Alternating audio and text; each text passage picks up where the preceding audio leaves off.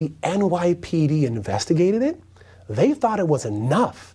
And they wrote up a report to say this person should be arrested. And Grace Jabbari even turned herself in. So the NYPD thought it was a crime, but Alvin Bragg didn't. And I think that's where it gets a little contentious for the defense.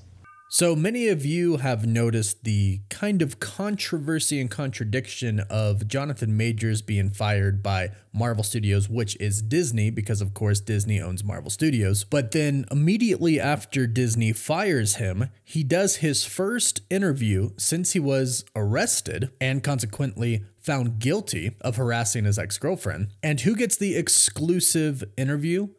Disney. It's a Good Morning America interview, which is owned by ABC News, which is owned again by Disney. And now there's a new piece on Jonathan Majors that came out last night. It's an impact piece done by ABC News, again owned by Disney, and is streaming right now on Hulu, owned by Disney. A lot of people have been pointing this out, and I believe that at this point, and this is strictly my own opinion, not based off of anything besides what everybody else has seen, but I believe what is happening here is a couple of things. But one, I believe Disney really is trying to kind of get a feel for how the public feels about this situation. And I've heard from a lot of you I've covered this for a pretty long time now since he was arrested. But in the comments down below, specifically, please tell me if you think Jonathan Majors, despite being found guilty of two unintentional harassment charges, meaning that he did indeed harass and hurt Grace Jabbari, but the jury deemed that he didn't mean to. It was accidental. So, given what the jury has currently found, we're going to ignore the fact that he's going to appeal. Based off of how everything is right now, please let me know in the comments if you think Jonathan Majors should be rehired by Disney slash Marvel as Kang the Conqueror in the MCU based off being found guilty of those two harassment charges. Now, ABC has confirmed that Jonathan Majors said he is going to be appealing the verdict. And in this new piece done by ABC, it's actually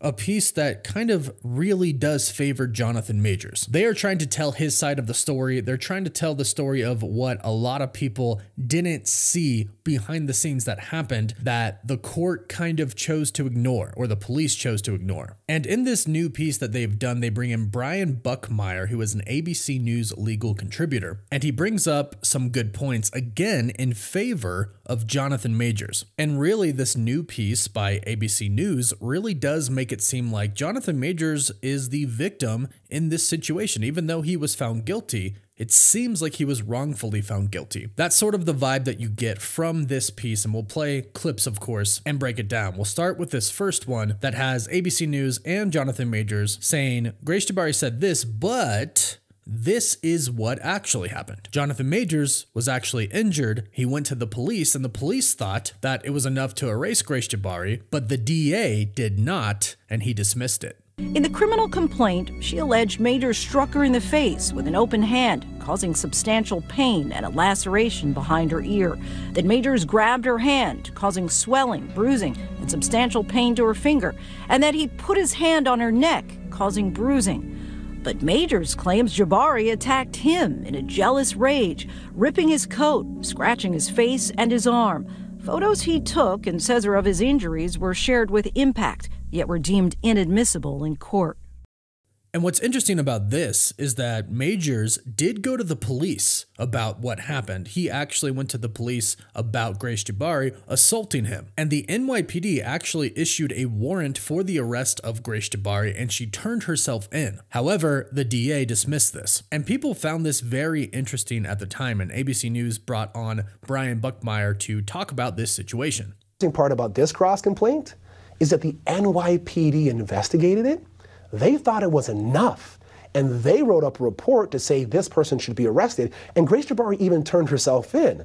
So the NYPD thought it was a crime, but Alvin Bragg didn't.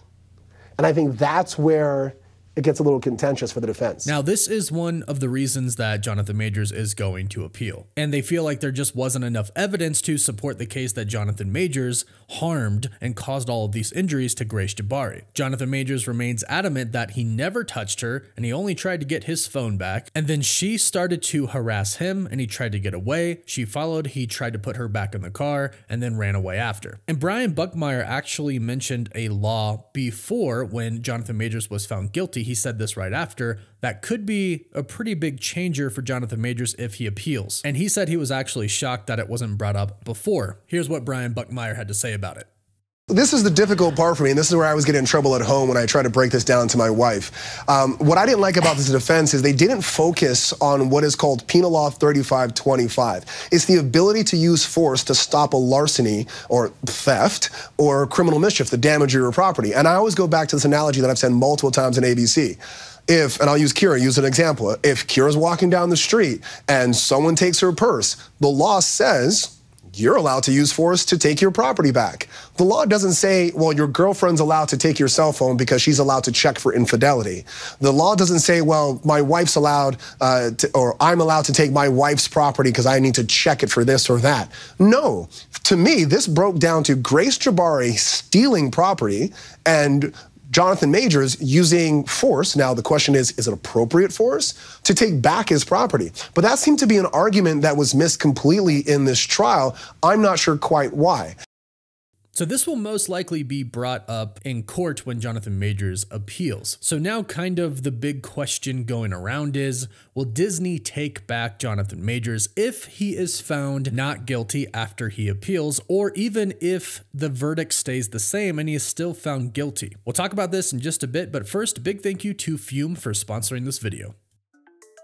Fume is a game changer for a lot of people in turning bad habits into good habits. A lot of people struggle with these bad habits, but Fume looks at these in a different way. Not everything in the habit is wrong. So instead of a drastic, uncomfortable change, why not just remove the bad from your habit? And that's exactly what Fume does. They're innovative and they're award winning and they're a flavored air device. That's all it is. It's flavored air. So it has none of the bad things and the bad habit in it. Instead of vapor, it uses flavored air. Instead of electronics, Fume is completely natural. And instead of harmful chemicals, Fume uses delicious flavors. I had actually heard really great things about Fume from my friends who were struggling with some bad habits. They actually raved about it and how it helped them, which is why I agreed to partner with them. And they sent me some samples and they honestly are super refreshing and taste very flavorful and good. And it comes in beautiful real wood and it's honestly really fun to just sit there and kind of fidget with if you're someone who likes to fidget like I do. And I know stopping is something we all put off because it's hard, but with Fume, it's easy and they have served over 150,000 customers and have thousands of success stories. And that could be you if you pick up a Journey Pack today. Head over to tryfum.com and use code COSMIC to save 10% off when you get the Journey Pack today. That's tryfum.com and use code COSMIC to save an additional 10% off your order today.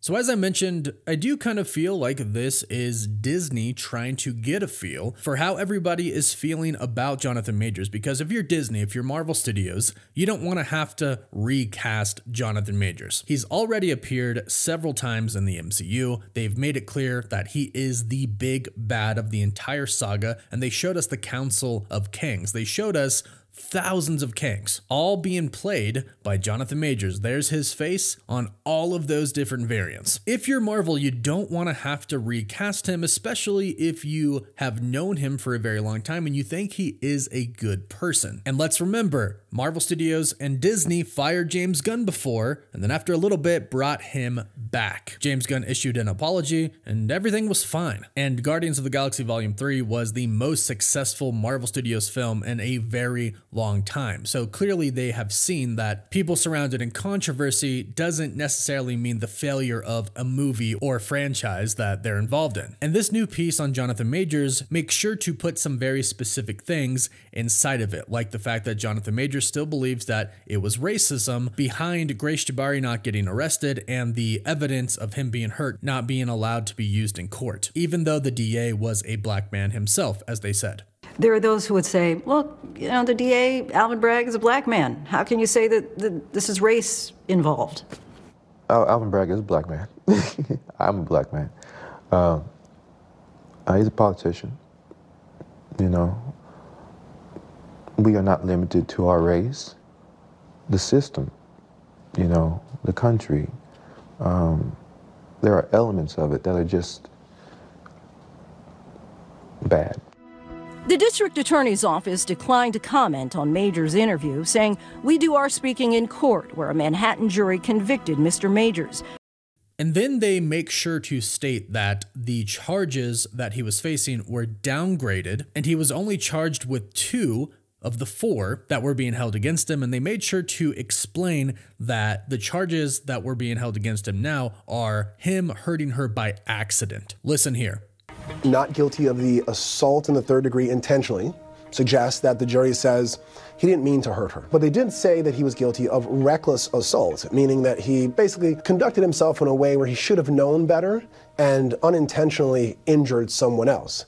So they're really focusing on the fact that, look, Jonathan Majors was found guilty of harassment and causing these injuries on Grace Jabbari, but it was not intentional. He did not seek out to hurt her. He was trying to get his phone back and they happened. He was trying to get away from her and these injuries happened by accident. He did not mean to do this. So the big question now is if this really was an accident, if he did not truly harass and abuse her, is that worth his entire career being destroyed? Is an accident something that didn't mean to happen, something that he did not plan on happening, that just happened because of recklessness, which is what the jury said, is that worth him being completely canceled in Hollywood and never working in Hollywood again, being fired as Kang the Conqueror and never being hired again? Or was he a human that made a mistake and should be given a second chance, which is what they said in the first interview release. They asked him if he deserves a second chance, and he said, Yes, I think everybody does.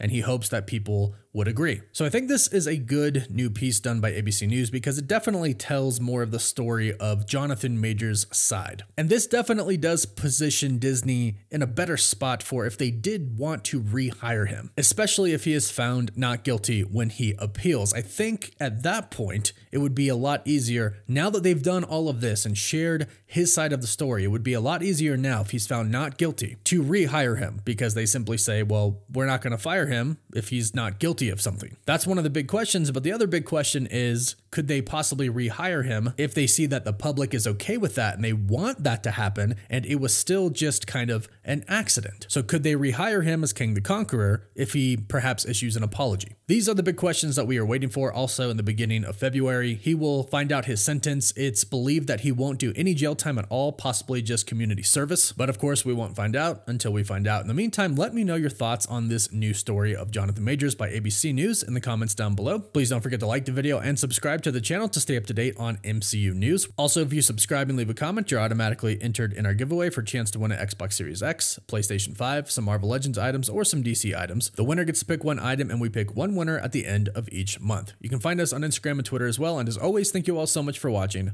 Woof woof.